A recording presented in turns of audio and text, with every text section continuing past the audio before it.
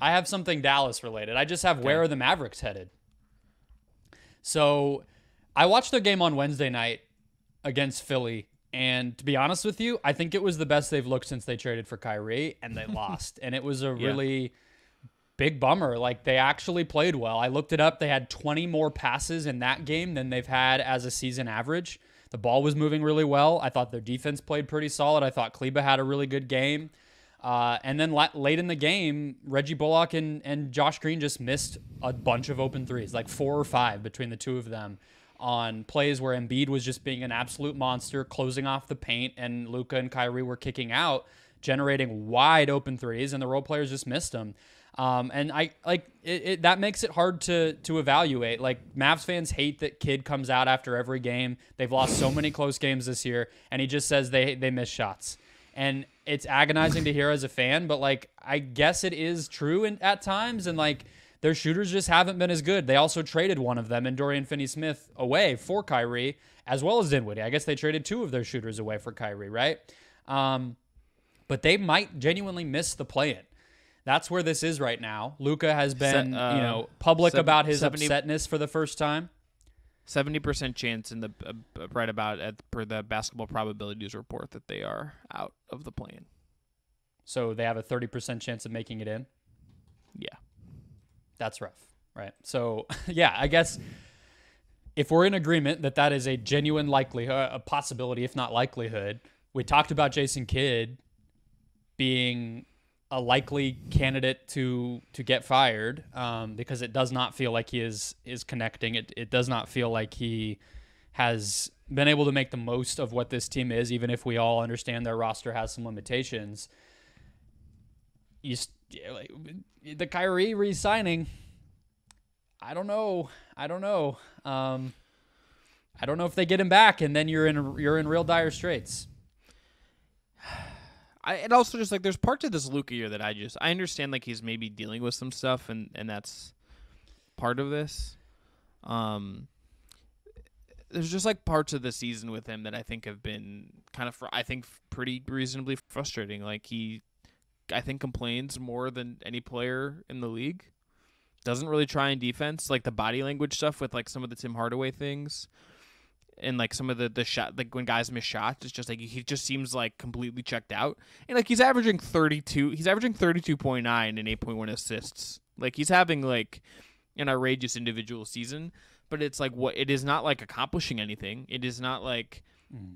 but it feel it doesn't feel like this like amazing like Luka season in that regard. Like he was like a very trendy MVP pick and I know he might still finish like top He five. has been his whole career. Every Yeah, season, is- he's the trendy MVP pick. Yeah, eh, but it's like if he plays like this, like there's parts of this where he's just like never gonna crack that upper echelon, and especially when his team just is kind of blah. And it's like, Yeah. like they like what do they have going forward aside from him? And like it's like Josh Green and J- Jaden Hardy and him, and it's like everything else. You're just like I don't know if like we're gonna have this guy in six months, or if this guy's like good enough to compete with Luka. Like just they just feel like, and like even a, if they got a different head coach, like what head coach is like, like how what is like the path to getting like the most out of Luka? Like I don't even understand how to answer that question. I, well, that's one of the That's things is like I don't even think it is though. I think that you just need a coach who's going to come in and say, "Hey, brother, the way that you're playing basketball, not going to win." There's versions like of you- how you have played basketball that will win, and you can do that. You've done it. Let's do that again. Like it's it's it's right there. Like you that this is the rant that I went on with when we were talking about him a couple weeks ago. Is like you watch his Real Madrid tape when he was a prospect. You watch how he played even early on in his career when, especially his rookie season when he was not really ball dominant at all. He was kind of you know not fighting for minutes, but getting his his feet wet, getting his place in in in the team and in the game. It was you know off ball screens. It was dribble handoffs. It was let me get downhill. Let me find the lob, the the roll man on a lob. Let me find shooters, etc. Now it's just like let me back somebody down at the elbow or you know in the the mid post, and I'll either get a free throw, I'll make a fall away jumper, or you know I'll kick it out one pass away for for a three and and that's a, a it you can cheat offense in the NBA these days if you have enough shooting around you and the refs are on you know uh, willing to call those fouls which they are but it's not going to it's not going to win a championship that Nope. that level of of how much that stuff has has just overwhelmed their offense. So I feel like there's a version where I don't even want to say like an old school coach, but somebody who's going to come get his respect, get him on the same page, and say, here's a system that can work for us, right? And here, you know, I think re-signing Kyrie is really their only option. Um, they have to just hope that happens. I don't think that they. What What about Christian Wood? Is there any point in trying to bring him back? I mean, maybe I. I mean, like, yeah, from like a talent retention perspective, but like, is he? Yeah. Like, do you feel like great about him as like a piece based on this year? I, I don't think I would. I wouldn't feel like you have like a locked in like really core piece of your Luka future, Luka centric future with him. No, You know, he doesn't play defense. Um, and like you, I was like I the- was throwing that to you, but I already had my opinion. You you weren't going to sway me. I would not resign No. Christian Wood. I, I think I would just I would move on. And then so really you're looking at what do you what can you get back for Tim Hardaway Jr., Maxi Kleber, Davis Bertans.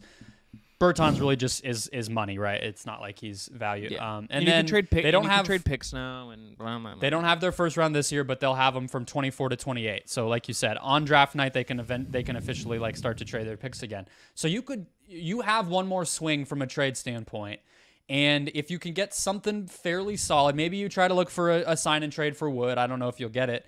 Um, you could go into next year with Kleber. Well, I guess I put Kleber in the trade in the trade possibilities. Whatever. Let's say just it's Kyrie, Luka, Josh Green, Jaden Hardy, so, probably JaVale McGee, right?